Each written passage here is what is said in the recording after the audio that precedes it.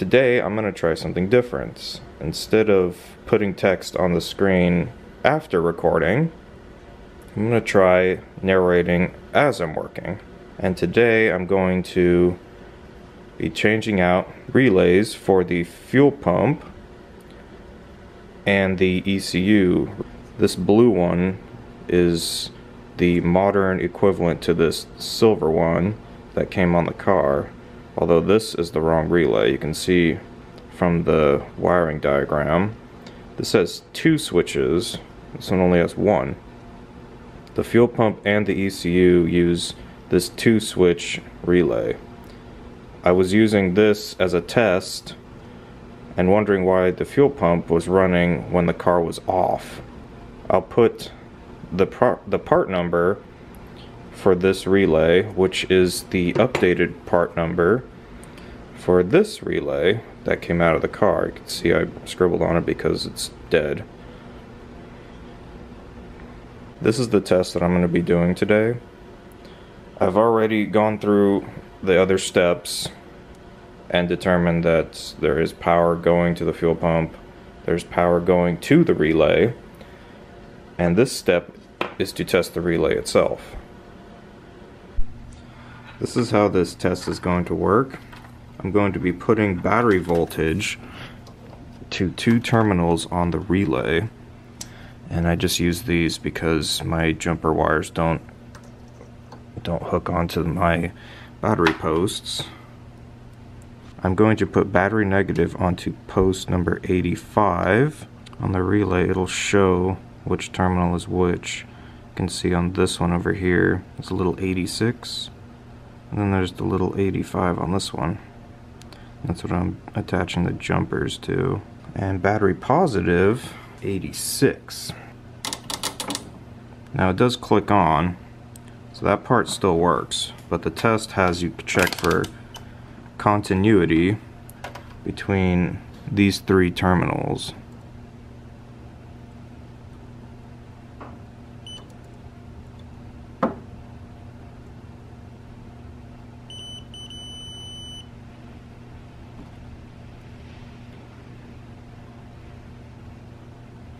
It should have continuity between both of these. I'm only getting it on the middle one and it's kind of spotty. According to the book, that means this relay is faulty. And the same test for this. I want continuity between these three posts with the relay clicked on. Okay, so it clicks on. Ooh, much better. Much, much better. I removed the lower dash pad. This isn't required to get to the fuel pump relay location. I mostly did it for my own curiosity and to see if I get any more legroom. Removing the lower dash isn't required. It definitely makes getting to this a lot easier. If you don't take it out, it's all the way back here, which doesn't look that bad. But then you have the ECU mounted right here, and the dash pad comes right here. There's no room to reach your hand in there. And this is mounted to this. And you need to have a uh, six different limbs on your wrist to reach it. I've done this before, which is why this is already off. And I'm not going to reattach it because of just how hard it was to remove it. New relays in. How exciting. I'm going to leave this as the disaster that it is right now.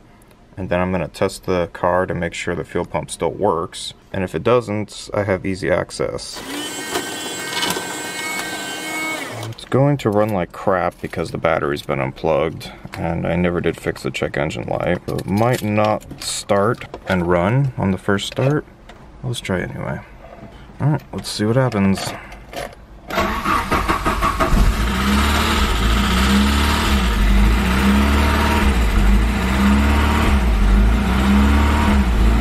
hasn't been started in a while, that's why the lifter's clattered so loudly.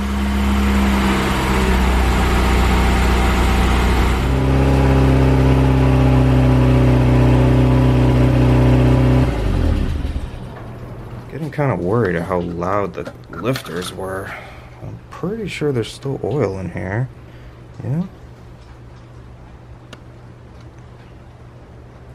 It's a little low. Maybe I'll add some more. The other thing I wanted to add to the system was something that can measure fuel pressure. I just bought this cheapo little PSI gauge and 1 8 NPT fitting. And long, long ago, I bought this, which is a bolt that goes into the fuel rail with an 1 8 NPT fitting that this will screw onto and this elbow is just optional with the Schrader valve. This was at one point for use with a fuel pressure gauge, but my fuel pressure gauge was worthless and leaked everywhere.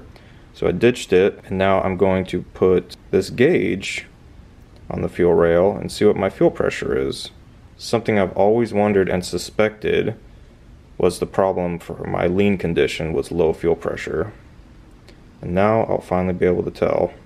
This is the bolt in question that I was talking about putting this gauge right onto the fuel rail. This bolt is the same size as this bolt on the fuel rail. It threads right in and I can just leave this on the engine and check fuel pressure whenever I like.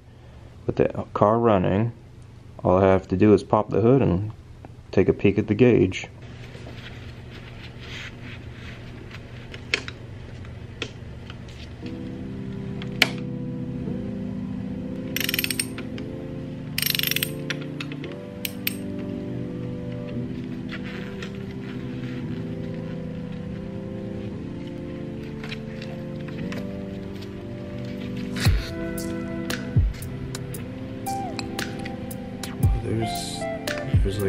Fuel in there.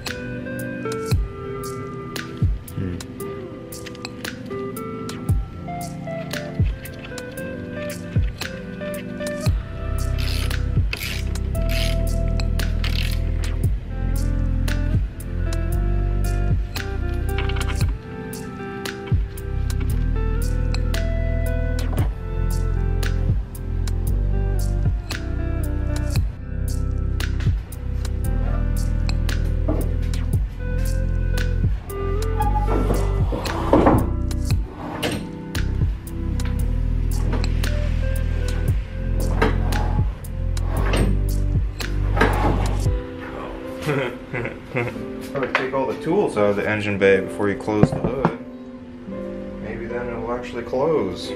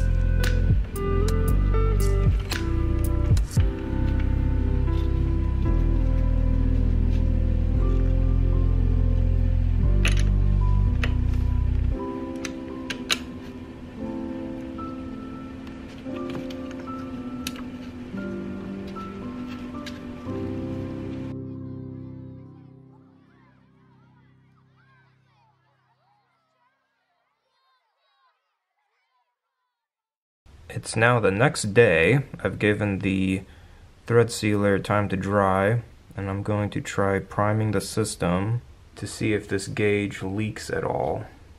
How I'm going to prime the fuel system is I'm going to take this incorrect relay that I mentioned earlier, take out the correct relay, plug this in, and the fuel pump will run when the car is off and the system will be primed.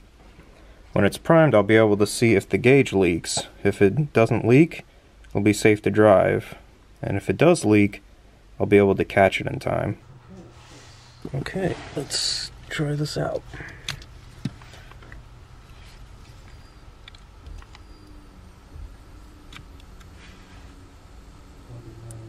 Pump is running right now.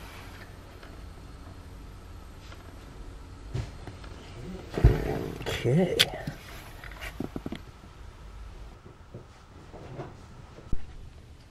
Okay, looks like we have a bit of a leak. I think I didn't tighten the the bolt all the way in and the banjo fitting is leaking at the washer, so I'm gonna have to tighten it up and hopefully I don't ruin the uh, the orientation of the gauge.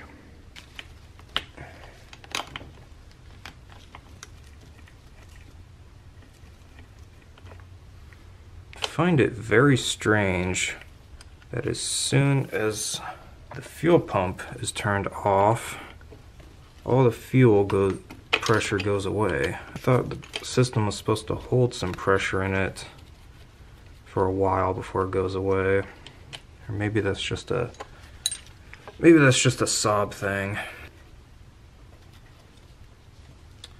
Oh yeah. yeah that rubber on this washer is toast. That's probably why it's leaking. Oh, yeah, look at that. I just came back from the store because I didn't have the washers on hand anymore, which they were probably copper like these that I just bought, and I couldn't use them again anyway, since these are crush washers. These were harder to find than I thought, because they're not a normal size, and these are actually for brakes. They look like they'll fit, so I'm going to try it anyway.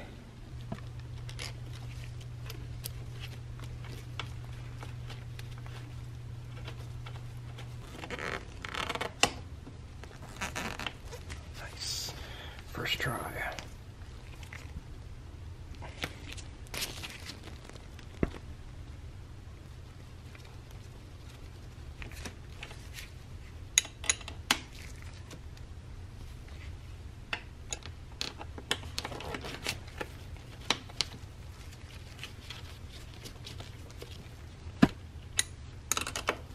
I'll give the thread sealer some time to dry and then I'll come test it for leaks again in a couple hours.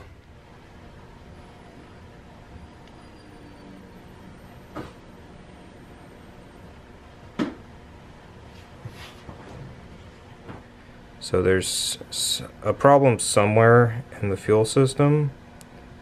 I do have a new fuel pressure regulator and I plan on putting that in because I have that and I don't have a fuel pump check valve, which is the other suspect. So the next video I'm going to be installing this and see if it works to fix my fuel pressure problem. This is off of a Volvo actually, but it shares this, the same part number and it is identical to the one on the car. So I'll install this and see if it helps.